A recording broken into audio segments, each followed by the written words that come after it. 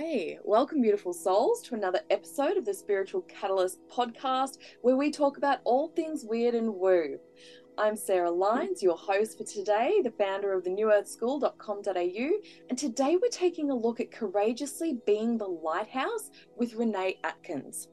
Renee is a renowned psychic medium, interconnection coach, certified intuitive life coach, and holistic life coach, intuitive healer with a deep passion for guiding individuals on their journey to self discovery. She empowers her clients with the wisdom and skills she has gained through the years of personal experiences and professional trainings. So, welcome, Renee. Thank you. Thank you. You're welcome. I'm so glad you're here today, and I'm really excited to talk about courageously being the lighthouse because this is a really big uh, a topic that that sort of it's a bit of the elephant in the room, isn't it, in the spiritual communities at the moment?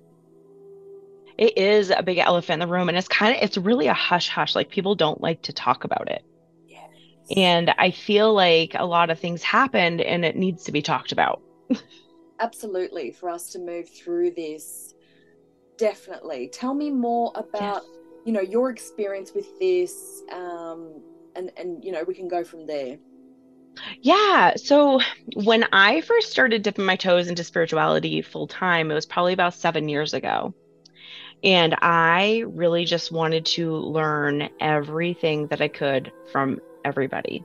Yep. And I truly do believe that, you know, we're we're led and we go into places that we're supposed to um, for the time being. And I definitely believe that we are all we have roles to each other right? So we all play roles for each other, whether it, and we judge it whether it's good or whether it's bad.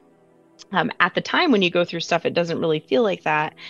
But, um, you know, I, I definitely, in hindsight, take a look at that. And so, me being on this path and passionate about learning all I could and passionate about learning everything that I could about myself and new upstanding things, um, which is absolutely beautiful. You meet so many beautiful people.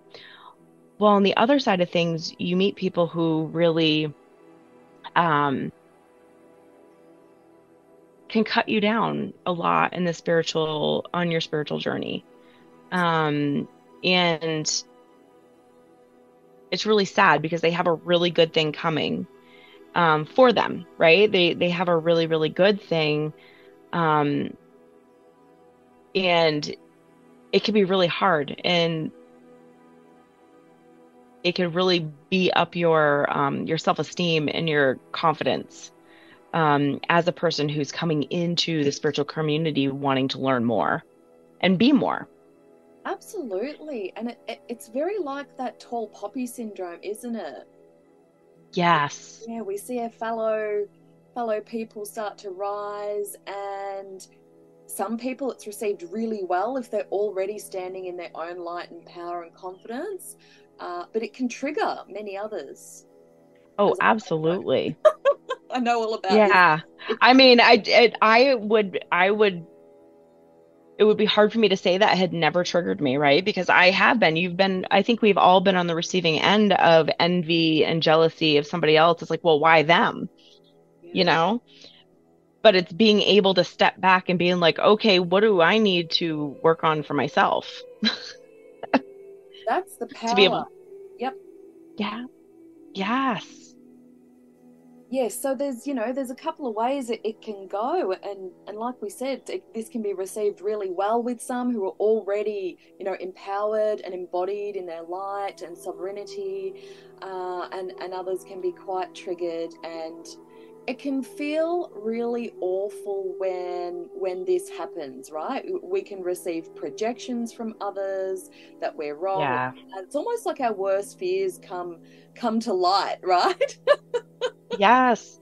And in a way it almost mimics the 3d world right? Yeah. So it mimics our wounds that we have um yes. in the human world. Absolutely. Absolutely. Which can yeah, which is almost kind of it can feel really backwards when you think about spiritual because you think everybody's enlightened and everybody's, you know, and they are enlightened, beautiful, and on their path. But sometimes, you know, it just um, I think we're even more so mirrors to each other. We totally are. And I'm glad we're talking about this because I know that there are many spiritual entrepreneurs or spiritual men and women out there who would love to really deepen their purpose and share their gifts with the world, but there's a lot of fear holding them back because um, people can want to tear us down. You know, I, I believe we've all experienced this as we rise. Mm-hmm. Um, so, you know, what what would you have to say about that, you know, with your personal experience and how you assist your clients? What do you believe the best way to handle a situation like this so it doesn't keep us um, keep us at the same level for the rest of our lives, right? Because that to me is a waste of our life when we're here for those big things. But the fear of judgment and persecution is keeping us mm-hmm. Absolutely. The first, the stuff that I have experienced were really, I noticed even now looking back, are really deep persecution and really deep abandonment and um, abandonment wounds. And so for me, it took a lot of stepping back and doing shadow work, really looking at the aspects of myself that needed that attention and needed that safety and needed that security um and i can't ever i tell people i'm like shadow work is the key to your spirituality because if something triggers you it's not always going to be you know you know somebody triggering you is not always going to be something in you but it is right? It's going to be how you receive it's going to be how you um how you really look at things and how you look at yourself more importantly in your life and I always tell people our biggest thing here is our soul's journey, which is really deepening the relationship with ourself to find our soul purpose, to find our life purpose. And so shadow work is one of the best things that you can do. And it's really just engaging those emotions, sitting with those emotions, and being able to shift those emotions versus talking about it and being in that story and being in that story and being in that story where we're not all we're really doing is just validating the story and not really the emotions and the deeper root of what is going on. I love um yeah, so we a lot a lot of my clients I do um, I actually shifted it recently the perspective and it's I consider it compassion alchemy because when you do shadow work, you have to have this beautiful container for yourself with grace and self compassion and have that self awareness. Um, I really love that, Renee, because compassion and love at the end of the day is the key, I believe. Um, you know, when when we do endure these uh, difficult times, when it brings up our stuff for us to look at, what I've come to realize is the more I love and accept myself and have compassion for myself, um, the less those outside judgments or influences affect me.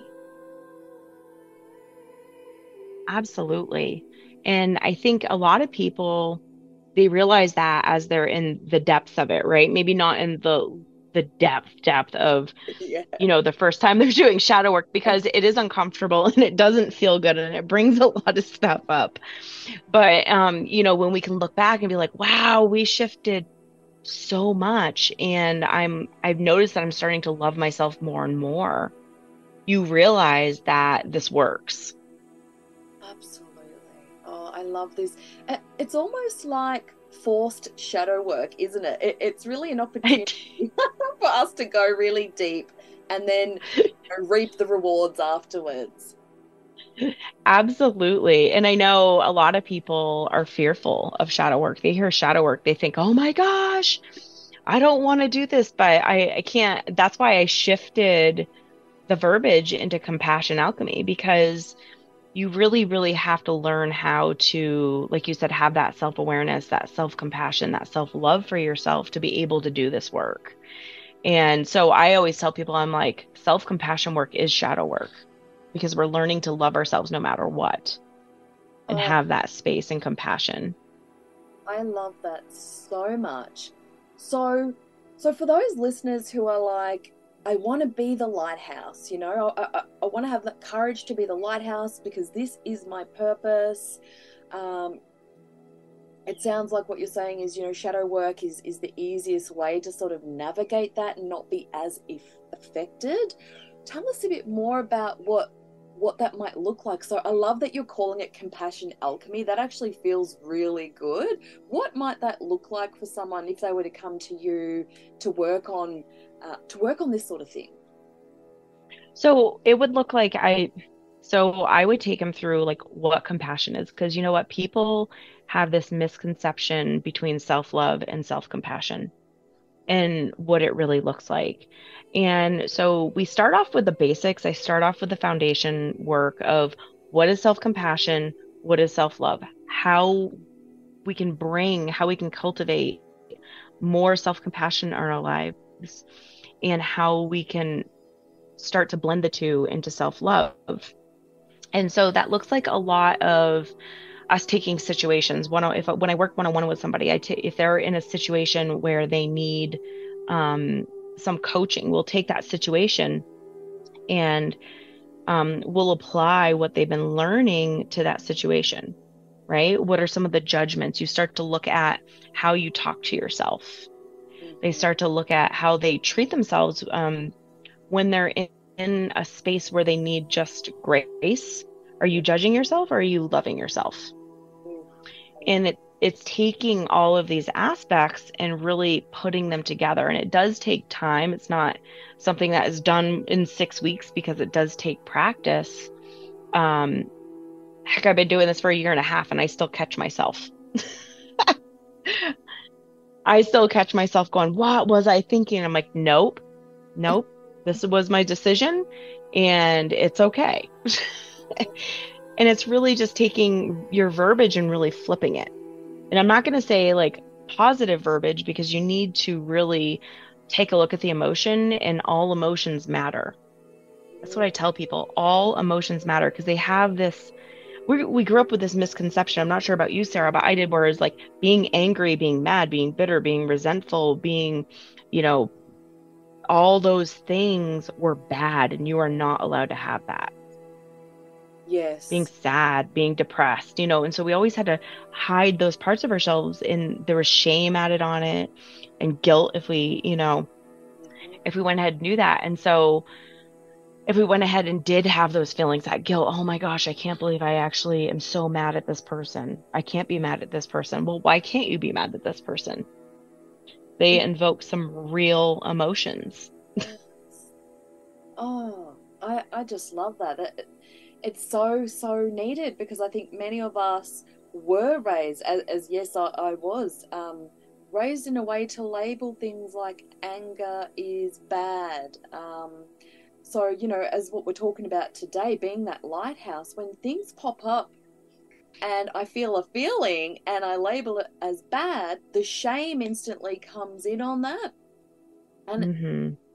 and then it's time sounds like what you're saying is that is the time to go into that shadow work, aka compassion alchemy.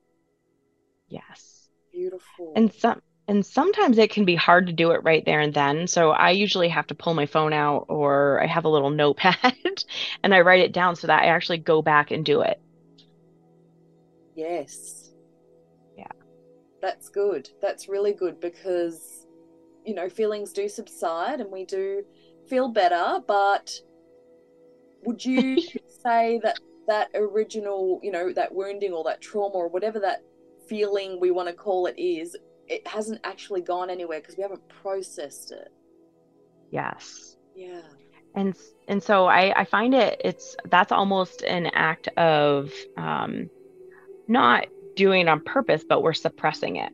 And the more we suppress these same emotions, they come they um, start to be presented to you in different ways with different people, right? So the same thing happens, I do believe, until we actually deal with um, what our inside is really feeling like, right?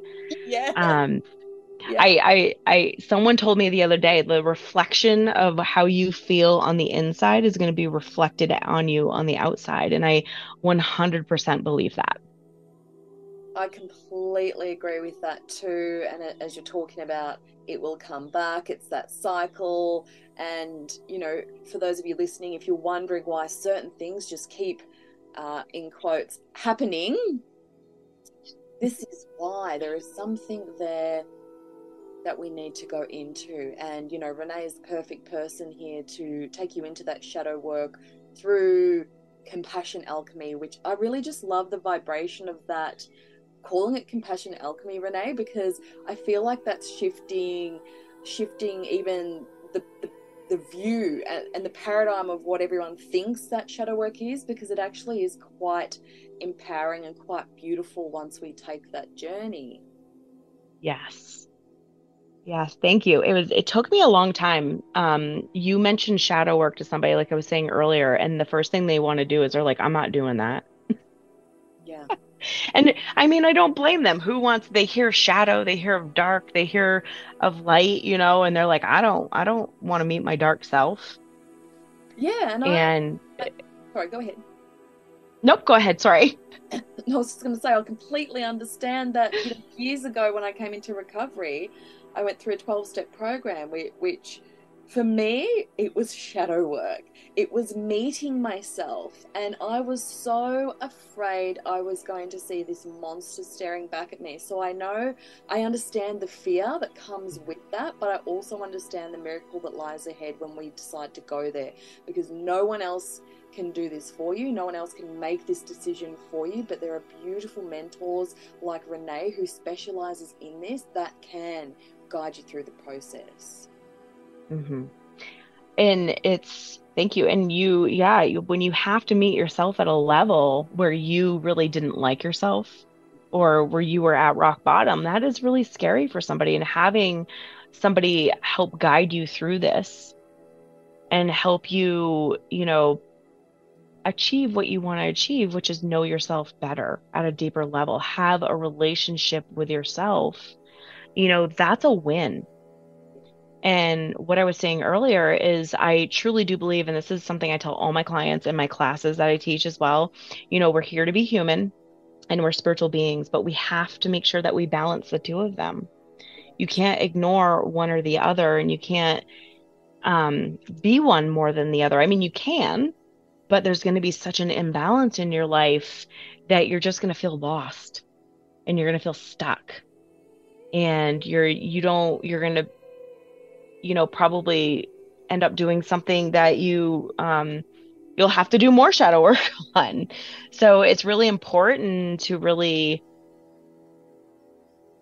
be courageous, right? Be the lighthouse that wants to go ahead and have that relationship with yourself. Yeah, absolutely. And and as we as we know as as women women of the shadows, mm. the, you know, it's just so beautiful. Like they the rewards come with this kind of work. They really do. Yes. Yeah. They they really oh, do. I love this topic so much. Um, Renee, thank you so much for talking to us about this. And for the listeners who are possibly thinking, okay, I want to step up, but I'm super scared about being that light because people are going to see my light because I'll be shining. It, do you have, you know, one piece of advice for them that they can take away with from today? Yeah, you know, you're always going to be a beacon of light. If that is what you're meant to do, in fact, any light worker is a beacon of light. We shine our light no matter what we do. And I always tell people take it slow. And you know maybe you don't want to step completely into it but baby steps are the best way to go. And the more you shine your light on yourself your inner light the more your light is going to shine out. And you never know you could inspire somebody else. Yes. And so even if it's tiny baby steps that's okay right because chances are you're somebody's watching you and you're inspiring them to do the same thing. So I always say shine your light. doesn't have to be if you don't want it to be out there so that a ton of people see you that's okay right because someone no matter what you do someone's going to see you and they're going to get inspired by what you do and that is that is the biggest thing we're here to inspire each other and to guide each other um, and teach each other how to heal ourselves. Beautiful. and that is you know one of the biggest most beautiful thing about seeing all these spiritual awakenings right now. And so if you feel called to do this uh, but you don't necessarily don't want to step out in a big way what i'm doing just do it. Just do the internal stuff and someone's going to see you which is going to like i said earlier inspire somebody else which is going to inspire somebody else. So it doesn't matter if you are practicing it practicing it like sarah and i or you know teaching or whatever it every little bit counts i think Yes. I love that. That's the beautiful ripple effect of healing ourselves. I love it. Beautiful. Thank you so much, Renee. Uh, for those of those listening who would love to connect with you, where can we find you? absolutely so i am on facebook um my my business page is renee atkins and i also have a website um, www.reneeatkins.com and um, you can message me on my website and contact me um, and yeah you could do the same on my facebook page you can message me um, through my facebook or through whatsapp and just get in touch Lovely. Thank you so much. And I'll make sure I uh, pop those links in this episode.